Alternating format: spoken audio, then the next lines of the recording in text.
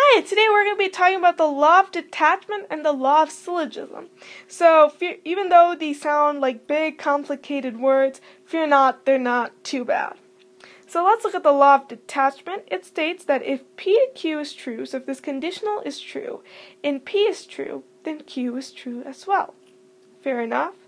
Let's look at the law of syllogism. So this says if P to Q and Q to R are true, then P to R is true.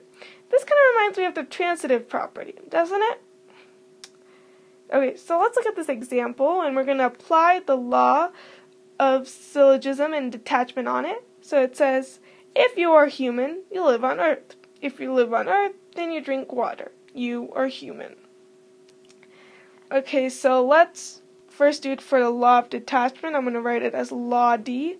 So you are human is our P, you live on Earth, and there's kind of like an implied then here, so you live on Earth is our Q.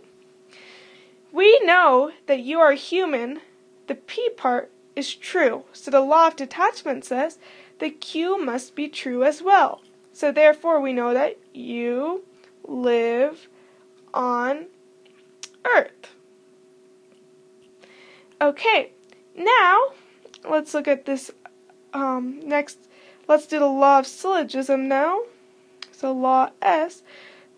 We also know that if you live on Earth, is the same as you live on Earth, so that is Q.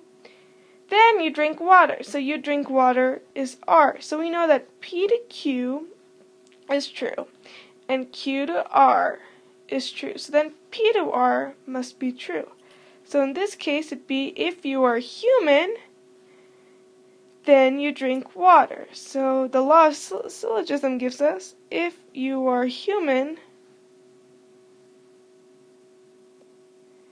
then you drink water.